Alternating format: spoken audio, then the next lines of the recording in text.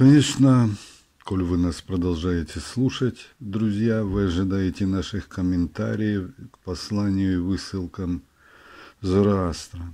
Кстати, чисто славянское имя, даже в трактовке Воланского и в той передаче этого имени э, от немцев. Зендешта, то есть жизнь дающего, но по богатству смыслов и языка прославянская речь, как вообще любая славянская речь, богаче любой другой на земле и вполне без трактовки Воланского. Тут читается свет дающий, озаряющий и так далее.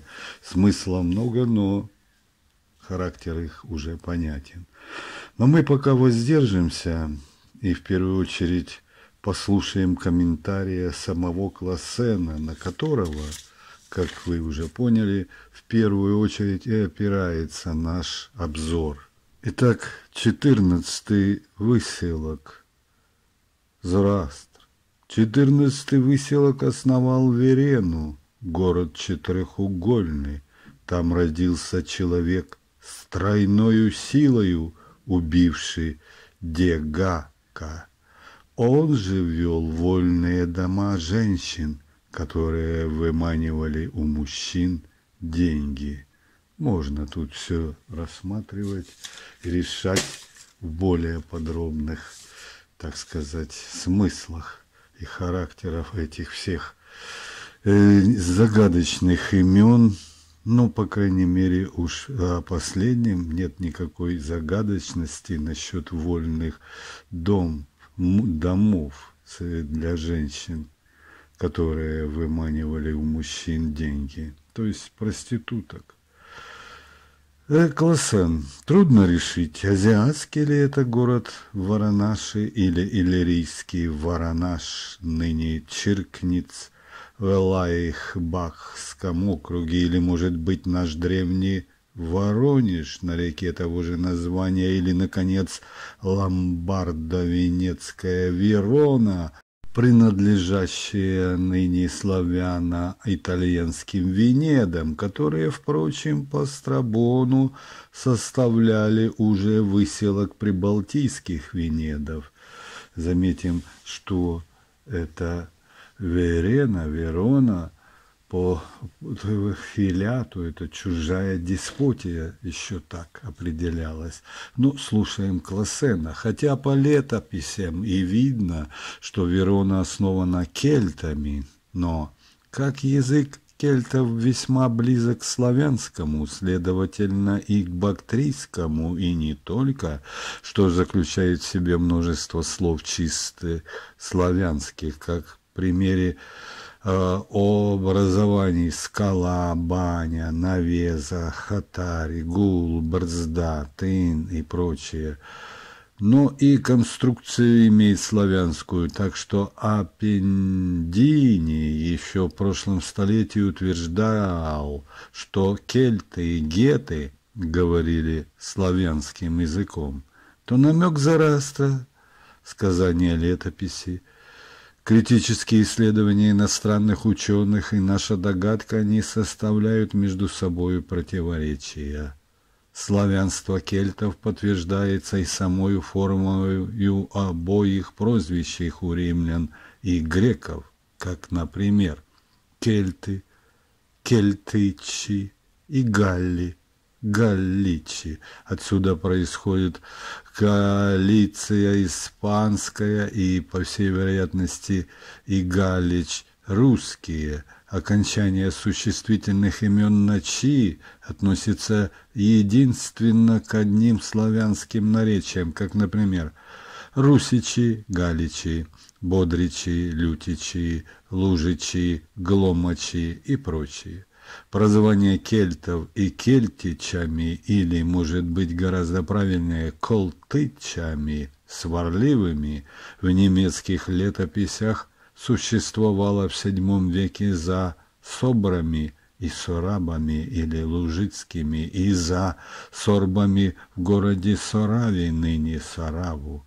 У нас в России существуют места и по сие время, подобные тому прозвища, как, например, хлыновцы и кулаки в Московской губернии, варяжи в Тверской, Новгородской, Псковской, Смоленской, Тамбовской и многие другие, казаки в Малороссии, Архангельские, Вологде и в других местах, а бурлаки во всей России. Ну, такого вот мнения придерживается Классен. Заметим, что с таким его суждением о кельтах, как о э, неких славянах, в принципе, прославянах из общего корня арийского нельзя не согласиться. Вот и дальше он приводит такие аргументы, что кельты были славяне, подтверждается еще и тем, что в некоторых летописях, как, например, Замолкнис, замолксис или замолк, если отнять римское придаточное окончание, назван основателем друидов. У Лукиана клянется скиф величайшими богами своего отечества Акинаком мечом и замолксисом замолком.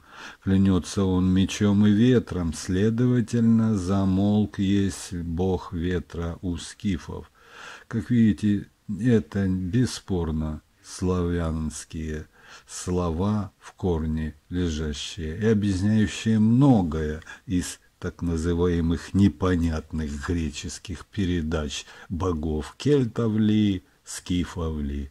Замолк же часто и утвердительно называется у историков главным божеством придунайских гетов, по мнению которых Люди бессмертны и после земной жизни переходят в небесное царство Замолка. Замолк был главным божеством у гетов. Его сравнивали с греческим Хроносом, Диоген Лаэрций и Фотий. Свидос показывает, что геты почитали Замолка за Хроноса. Платон упоминает о Замолковом учении относительно бессмертия души. Кроме того, кельтов называли римляне кельтоскифами, а скифы, как известно, были предки славян, что доказывают ныне и новейшие германские историки. Следовательно, и кельты были славяне, да и самое имя «замолк» есть славянское и означает доброе расположение божества, когда оно перестало дуть свирепо. Ну что ж, если для кого-то это слишком э, натянуто и не, не очень достоверно, но для нас это убедительно. Мы ставим огромный плюс к Лосену и далее слушаем его, ибо это тоже интересно. Здесь должно еще заметить, что историки причисляют к итальянским кельтам гломачей, которые, заметим, наше э, произношение некоторых слов, возможно, и неправильно. Сами понимаете, наш язык позволяет нам говорить и гломачей, и гломачей, и так далее. Но мы несколько уже тратили смысл этого, и потому просто слушаем дальше, который Классена, который так говорит, по шафарику, славяне, вольцев по шафарику, тоже славянское племя, ретов, по Ливию Нестору, славян, украинцев, тихошагов, боев и готинов, то есть геттеуны, о которых будем говорить ниже. Пиктит утверждает также сродство их со славянами. В заключение скажем, что большая часть городов и урочищ кельтийских носят унитара названия славянские, как, например, Чепяна, Руда, Тула, Литава, озеро Плеса, гора Шар, Бранитын, Брянск, Бериславль и другие, ныне Руан, Тулонь, Британь, Платензеи и так далее. Ну, заметим, сами понимаете, латинский вплыв потом все, так сказать, исказил произношение, написание и прочее. У него же Далее слышу, слышим у Классена.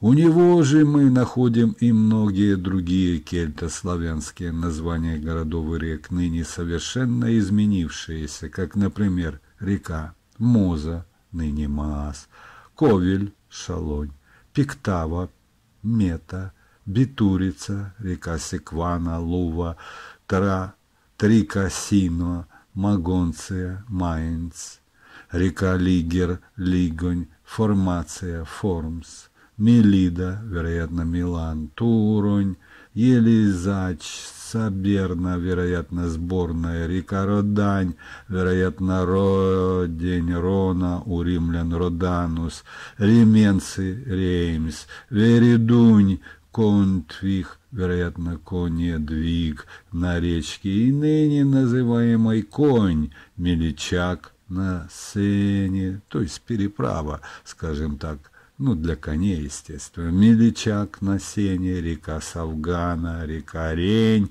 Рейн, Ири у римлян, Ренус и прочие. Кельтов звали также и голядами, галатами, а голяды оказались также в числе племен Кривичей на Протве, и их же следы в селе Гольтье во Франции. Заметим, может, и голядами их так и именовали, так как они любили воевать, обнажая свой накачанный, ну, скажем, условно, торс. Ну, это так, видишь, шутки. Но в каждой шутке, сами знаете, возможно, доля правды.